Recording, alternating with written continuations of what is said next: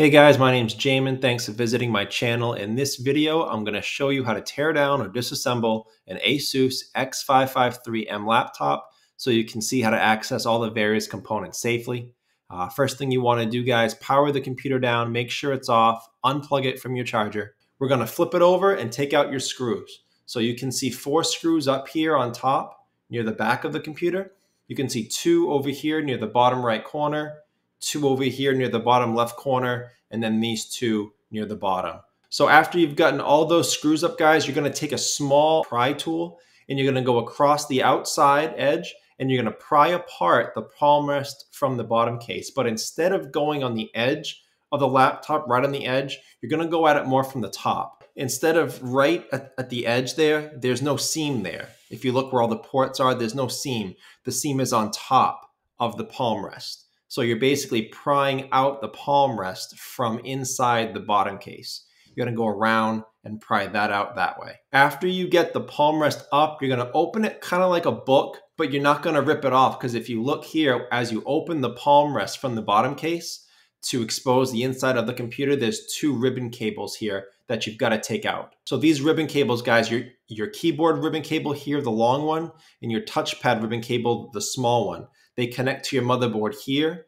And the way that you undo this, you have a white port on the motherboard in both instances. And then the ribbon cable with a blue end slides into it.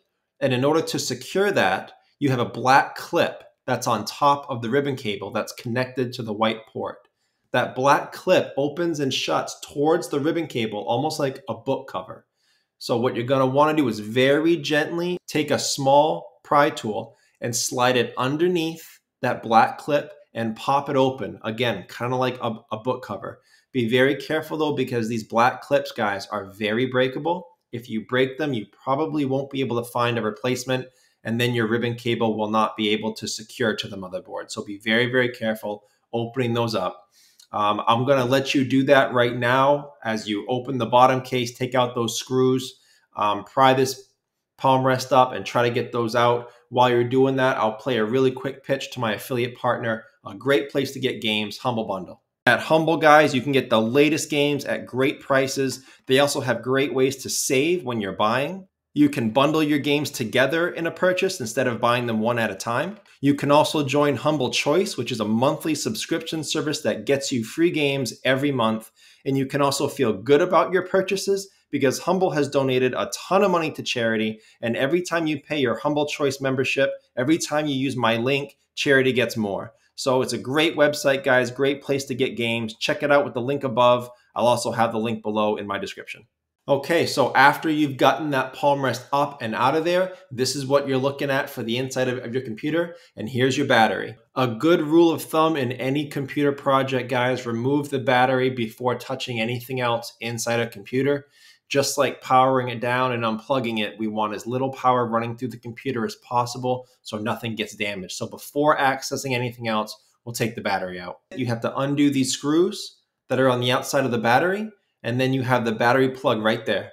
The way that you unplug the battery from the motherboard, there'll be a silver clip here toward the edge, and there'll be a white clip there more toward the battery. So it's a two part plug. You take that silver clip and you slide it up toward the top of the motherboard, uh, up toward the hard drive. You slide it up very slightly, and that will release the white clip, which then just pops off straight up out of the computer. Okay, so after you have your battery removed, you can move on and take some other things out. So we'll go through this one at a time.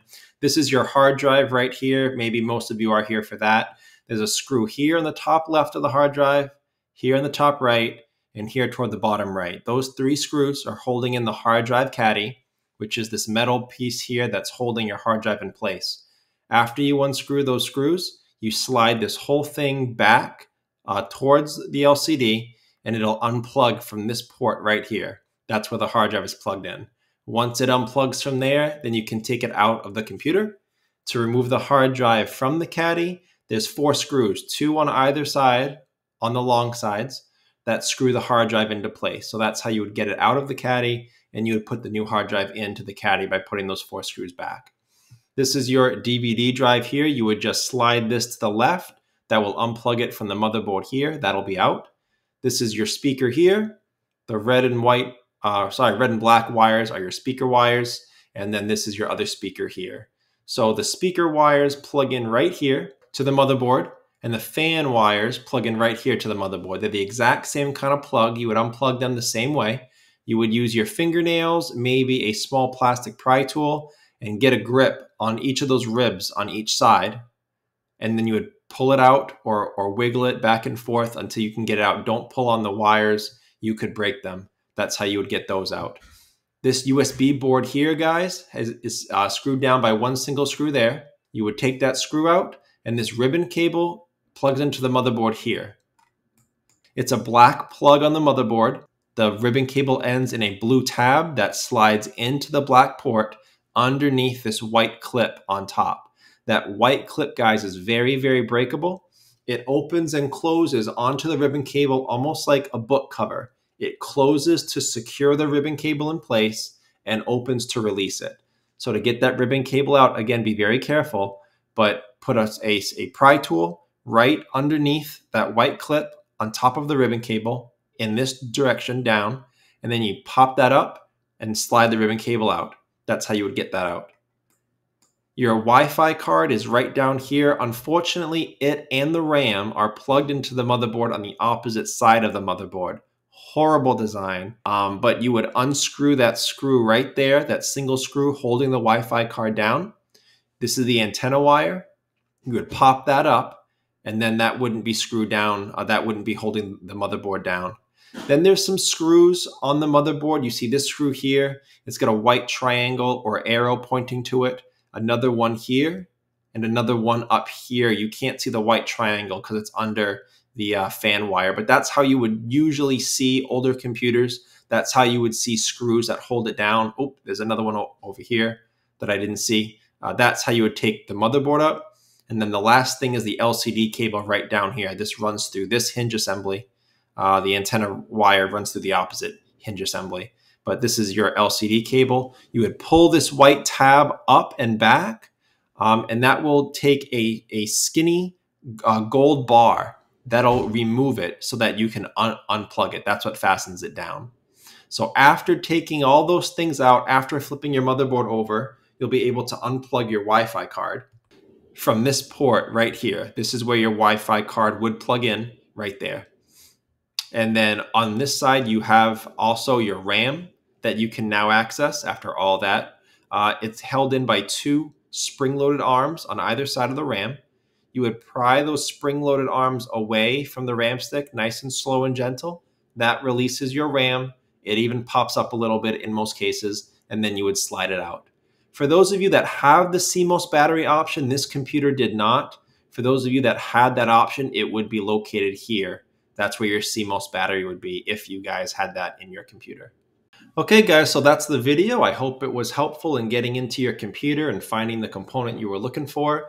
Uh, if you have any questions, check out the FAQs below in the description. I do try to keep those updated over time. If you do need to leave me a question, feel free. I try to answer those at least a couple times a day.